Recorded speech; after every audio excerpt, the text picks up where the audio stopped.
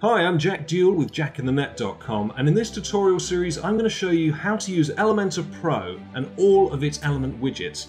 If you want to see what they look like then go to elementor2020.co.uk. I've laid them all out for you so you can take a look at them. And to get Elementor Pro, go to jackinthenet.com forward slash EP. There you'll be able to get the membership you want, download the plugin and then upload it to WordPress.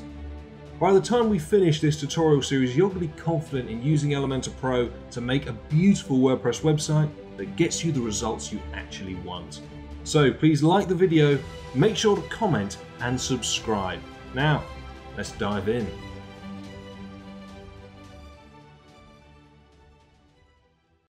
Okay, in this one I'm going to show you how to use Elementor Pro's nav menu widget to create a menu around your site. So the first thing that we're going to do is obviously put it into the page.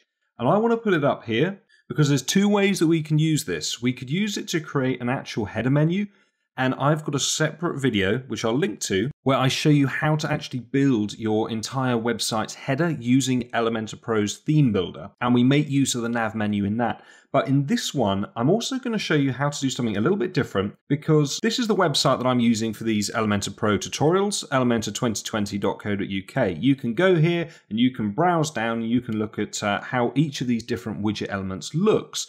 But I want to put in a little menu up here with shortcuts to each of these widgets so that you can just come in, you can click the relevant widget that you want, and it's going to automatically scroll down the page and it's going to take you to that particular widget. So it's really useful, and that's what I'm going to do with you here today. So the first thing that I want to do is add in a section between this one and this one here. So I'm going to press the little plus button here, and then I'm going to go right ahead and I'm going to drag my nav menu into the page. Although what we could do if we wanted is create a couple of columns so actually, I'm going to create one that looks like this. And then I'm going to grab my nav menu and drag it on over here to the right. Now, by default, what this does is grab my main menu, which is what I've got up here, and it puts that in. Now, I don't want it to do that, but at the moment, it's the only menu that I have. Of course, if this is what you want, really simple, obviously you would position this so the columns are how you want them, and then you've got your horizontal menu going across the page. If we wanted, we could change it to be vertical, so then it's just going down. And obviously we can align it as well, so we can have it on the right, left, in the middle, you get the idea. We'll go through more of these in just a minute. But what I want to do is have a different menu. So I don't want my main menu. How do we do that? Well, I will show you. But in order to create one, we actually need to have some links that our menu is going to take us to. So let's say that I want it to take us down to the portfolio element. Effectively, I'm creating a anchor menu here. So what I'm going to do is come into my section settings where I have the portfolio element. So I click into here, and then under the advanced section, I'm going to come down to CSS ID. And in here, all I'm going to write is portfolio hyphen widget. So if you've got two words, make sure you put a little dash between them. And then what I'm going to do is copy this, update, and then we're going to head on back to our WordPress dashboard. So exit to dashboard. Now what I want to do is come on down to appearance and go to menus. And then I want to create a new menu. So we click up here, create new menu, and I'm going to call this uh, elements menu, create menu. And now we need to add some things, but unlike a normal menu where we've got pages that we would add, here I'm going to be using custom links. So I click custom links and it gives us the URL and link text. So my link text, I obviously want to call this portfolio. Now the URL, this is where we've got to be careful with what we put in here.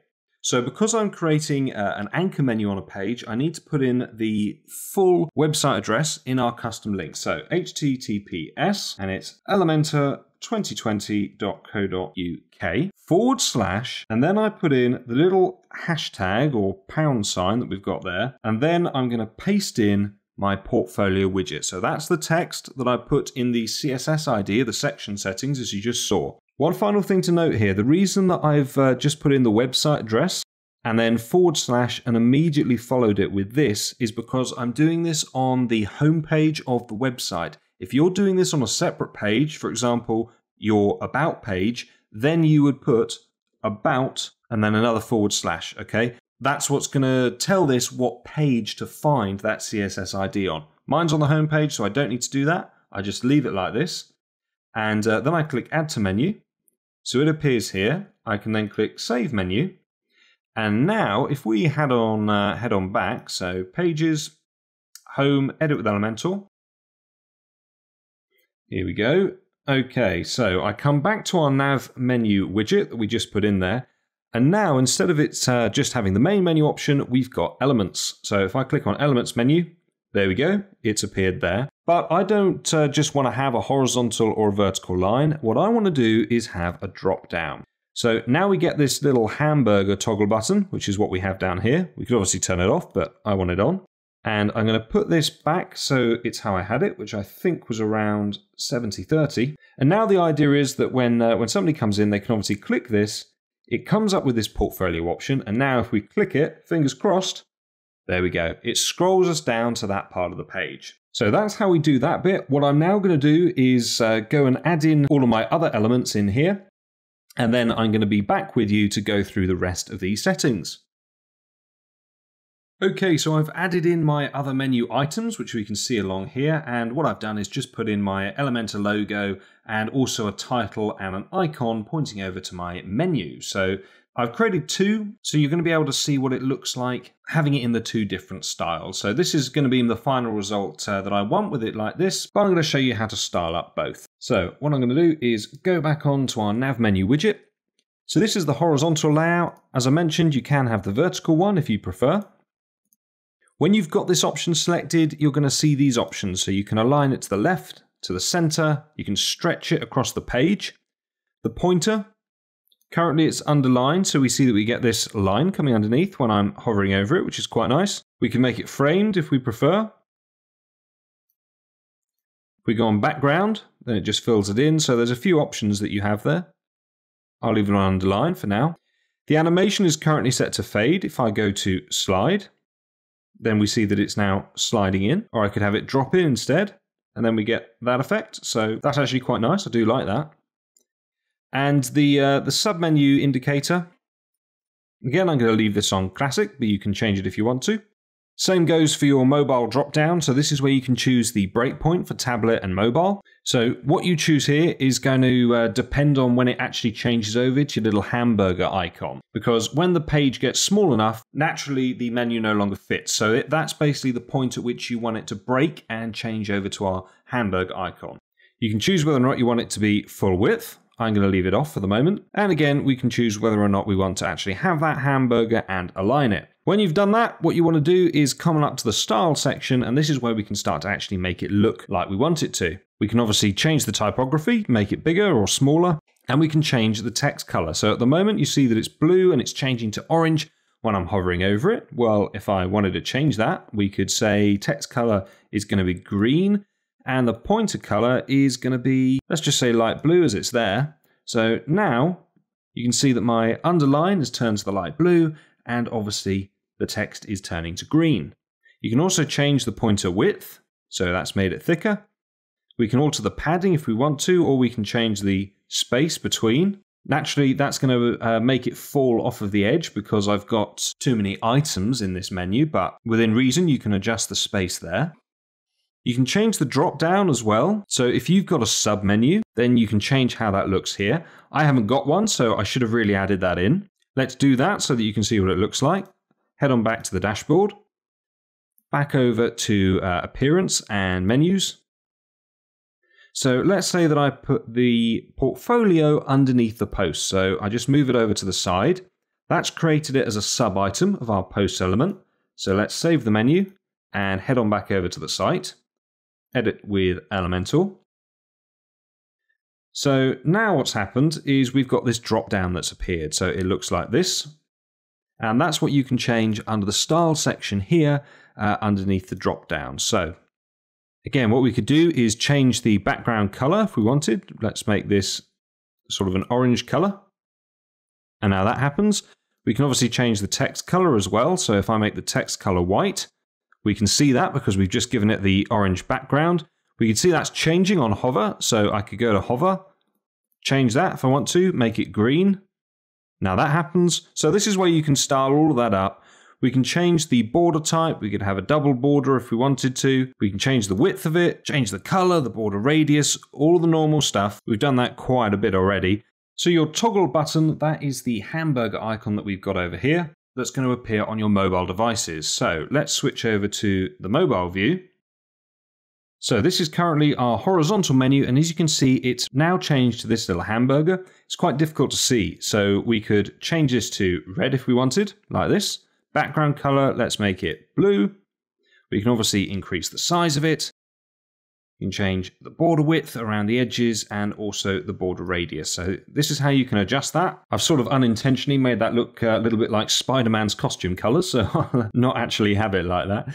But um, that's how you can obviously change it. But I won't focus on it too much because that tutorial that I'm going to link to where I show you how to actually build your header for your entire website. We go into all of the options in a lot of detail. Right now, though, I want to head back up to this option, which is the one I actually want for my site here, and that's where we've chosen the drop down layout. So now, if I go up to style, if I actually click on this, this is what it looks like. So this is normal. If we change the typography, then we can obviously bring that up a bit. I could bold it if I want to, but I think it looks okay like that. Same with the text color, that's okay. Background color though, let's maybe try the blue. No, I don't like that. Let's leave it on clear and let's just change it when we're hovering over it. So background color light blue. That's better. I like that. I think that looks good. We could obviously change the text color as well, but I like it that it switches to white, so we'll leave it like that. We don't need to change the border on here, but we could always change the padding. So if I change the vertical padding, we're obviously getting more space at the top and the bottom. If you change the horizontal one, it's going to mess it about a little bit. Doesn't work too well because we've got our column quite small here, but you can obviously play around with that for your design. And again, toggle button, we could change this if we wanted to. So if I bring up the size, that's going to adjust it. The difference here is it's actually doing it on the desktop view. We don't need to be on the uh, on the tablet or the mobile because under content we chose the drop down layout right from the beginning. So that's a little bit big now. I think I'll bring it back to maybe around 30 because I can always come in and increase the size of the other things I put in there. So I'm pretty happy with that. I think all I need to do now is get rid of this one here, update this, and let's take a look at it. Okay, there we go. I really like that. All I need to do now after the video is increase the size of these here so that it matches in. But now we can come, click on our menu. I have a drop down menu as well if we wanted, although I'm going to get rid of that but when you click on something, it brings you down to that section. So if I click on the login element, it's going to slide us down the page to that particular section. And I think that's really cool. This is such a great widget, definitely one that you can make use of. And I'll put the link in the description to my tutorial on where we actually build the whole header for the website. And then you're going to see all of the other possibilities that we can do with this amazing widget as well. Thank you for watching the video. I really hope that it's helped you. Make sure to post any questions or suggestions that you've got in the comments, like the video and subscribe. And I look forward to seeing you on the next one.